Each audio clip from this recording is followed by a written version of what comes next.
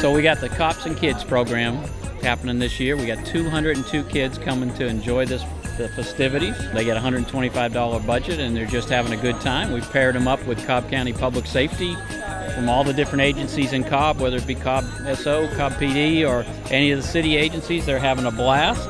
As you can see, we are a full house and it is exciting time.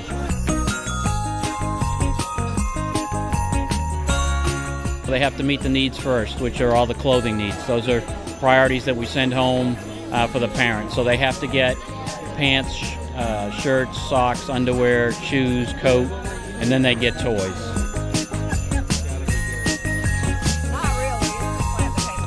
We did have a family come where the mom brought the child because he didn't have a good attitude towards law enforcement and she wanted him to have a positive role model and image.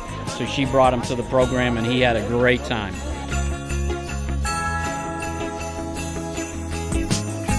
There's a big need, and obviously we're just taking a little niche out of that big need. But any little bit that we can do to help is what we're trying to do.